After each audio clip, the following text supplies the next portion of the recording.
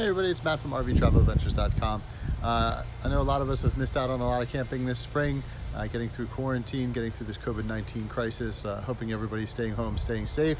Uh, but uh, like you guys, we've taken advantage of this time to do some uh, modifications, some maintenance on our camper. So in addition to getting up and cleaning the roof, servicing the wheels, tire pressures, all your normal maintenance.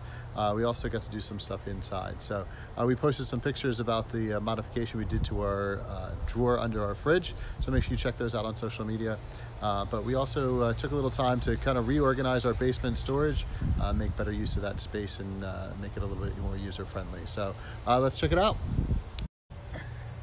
All right, pretty basic basement storage. It is nice big pass-through storage, uh, but things kind of got cluttered in there, so we uh, did some modifications over while we were uh, not camping this spring. So we went ahead and added two shelves in. The top one's just high enough to put all our chairs. We got a little second shelf in there to put some other miscellaneous stuff, and then the bottom's got a nice big section uh, where we can put our folding tables, uh, trash cans, uh, any extra accessories mounted a couple of pipes to hold our broom uh, and used a lot of command hooks and other types of hooks. Uh, we got our uh, dustpan hanging up there.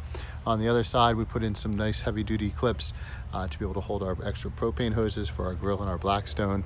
So uh, very few studs in here, so you got to be real careful finding stuff and put in some nice big long strapping to get between those metal studs uh, and the wood studs. But once you do, there's a great opportunity to kind of organize your stuff, uh, make better use of your overall space. So uh, that's uh, on our passenger side, our campground side.